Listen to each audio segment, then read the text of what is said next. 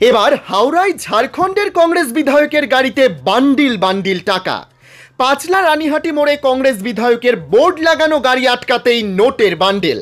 আটক ঝাড়খণ্ডের তিন কংগ্রেস বিধায়ক। টাকা গোনার জন্য আনা হচ্ছে মেশিন।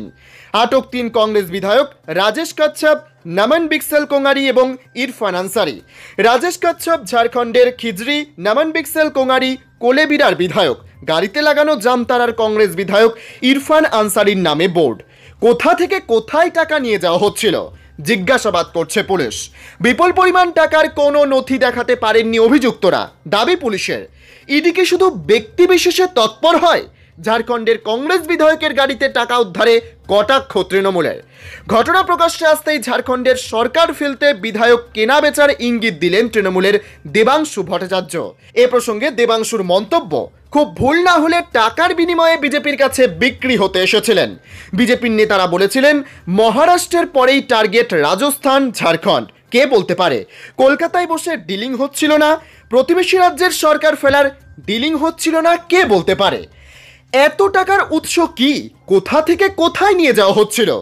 খতিয়ে দেখছেন তদন্তকারীরা। কলকাতায় বসে ঝাড়খণ্ড সরকার ফেলার বিজেপির ডিলিং হচ্ছিল না তো? পাঁচলা কাণ্ডে প্রশ্ন তৃণমূলের। দুর্নীতিতে ওরা সবাই এক, পাল্টা বিজেপি। অর্পিতা মুখোপাধ্যায়ের জোড়া ফ্ল্যাটে উদ্ধার টাকার পাহাড়। গ্রেপ্তার প্রাক্তন শিক্ষামন্ত্রী পার্থ চট্টোপাধ্যায় ও তার ঘনিষ্ঠ অর্পিতা মুখোপাধ্যায়।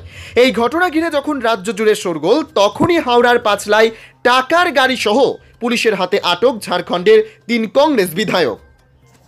কি এরকম গাড়িতে প্রচুর অ্যামাউন্টের টাকা যাচ্ছে? ওই হিসাবে আমরা ইনফরমেশনটাকে ওয়ার্কআউট করে আমরা এই গাড়িটাকে ইন্টারসেপ্ট করলাম। এর মধ্যে তিনটে এমএলএ আছে যারা ঝাড়খণ্ডের এমএলএ আছে।